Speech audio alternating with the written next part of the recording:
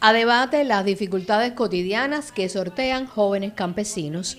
Con ellos, la UJC analiza la baja incorporación a su membresía.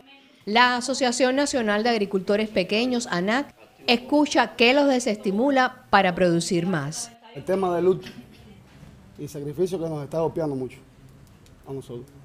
Eh, yo quisiera que fortalecieran las medidas de sobre esas personas que se dedican a eso. Hay que dormir casi que al lado de, de la siembra, igual que en la cochiqueta porque se llevan los puercos. Desvelos que incluyen la bancarización.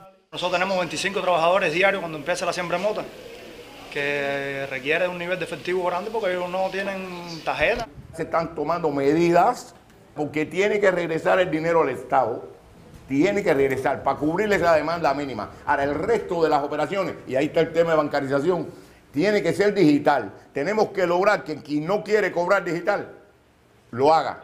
Mejor atención, lograr sus pagos en tiempo, evitaría el desvío de las producciones hacia otros rumbos, opina este directivo de la agricultura. La debilidad en la dirección de muchas de las cooperativas es una de las causas. Alarma también que solo el 11% de los más de 21 mil campesinos y cooperativistas en la provincia sean jóvenes. Y cuando le damos una tarea a un joven, enseguida empieza ¿qué? La marcha atrás. Yo, yo llevar acá, yo llevar la delegación, yo atender la nada, yo hacer esto. ¿Por qué no?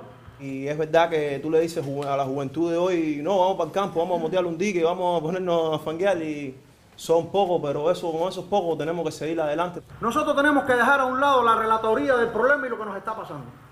Y el 90% del pensamiento y la acción de todos los que estamos aquí, lo que no estamos, tiene que estar dirigido a resolver el problema. Somos los jóvenes lo que vamos a hacer posible esa ley de soberanía alimentaria.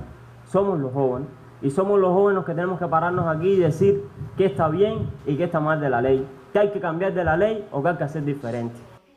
Preocupaciones de un sector que enfrenta cada día las consecuencias de la crisis económica y el bloqueo, con yuntas de bueyes, abonos orgánicos y semilla propia en el surco. Ismari Barcia, Canal Cubano de Noticias.